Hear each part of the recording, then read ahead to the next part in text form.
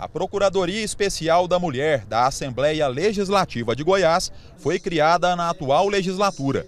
Coube à deputada Rosângela Rezende a chefia do órgão, que visa promover políticas públicas em defesa dos direitos das mulheres goianas. A procuradoria é uma forma que ela, sim, vai ser acolhida, mas a gente não vai fazer o papel de uma delegacia da mulher. E através dessa procuradoria, com duas secretarias especiais, compostas por uma secretaria especial e uma de assistente social, e as outras é, parcerias que a gente vai fazer com iniciativa pública e privada, a gente vai garantir que essa mulher possa chegar no momento de proteção eficaz. Além de Rosângela, outras três deputadas tomaram posse nesta quinta-feira como procuradoras adjuntas.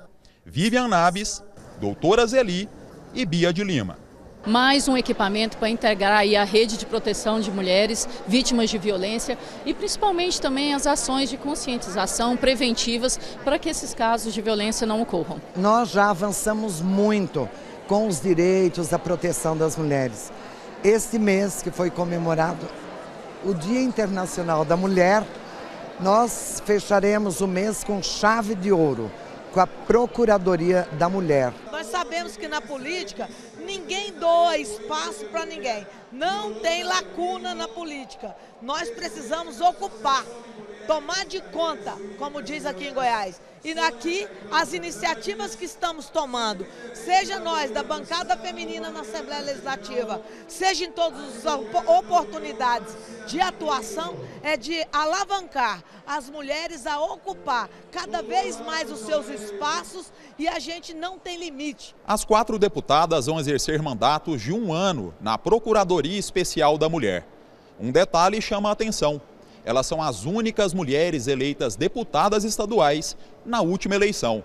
Já os homens ocupam 37 cadeiras na Lego. Uma disparidade de gênero na política que também necessita ser corrigida.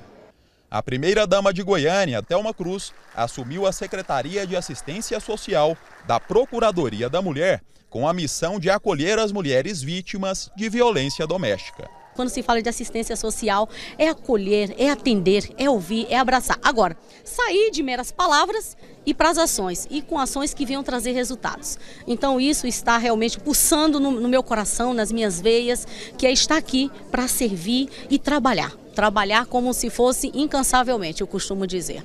Já a doutora Cristina Lopes vai comandar a Secretaria de Projetos Especiais da nova Procuradoria estaremos aqui vigilantes com as políticas públicas que já são constituídas e promovendo e implantando novas políticas para garantir a segurança das meninas e mulheres do estado de Goiás.